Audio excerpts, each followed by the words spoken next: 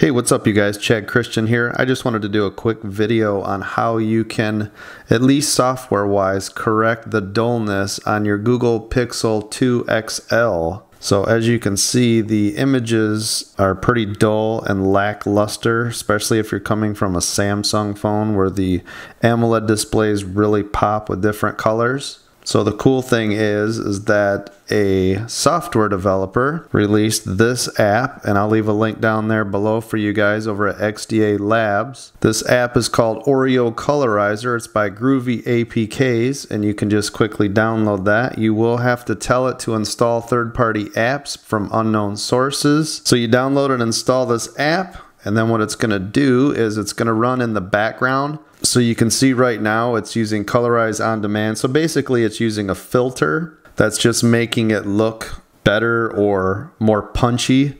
So if you look at the colors on there, you can see the rainbow changing colors when I do that.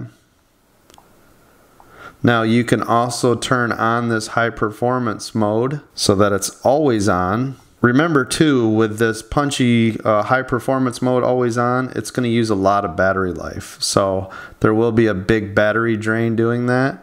Let's uh, take a look at it with pictures here with the reds. So that's off, on, off, on, off, on.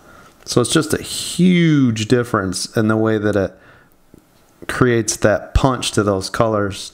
Off, on, off. Um, so really it's just a matter of preference, whichever one that you guys like. If you guys want to see any more videos like this, make sure you click that thumbs up and subscribe. If you have any questions or comments about this, make sure you do that. And also smash that like button. Thanks a lot, guys. I'll see you in the next video.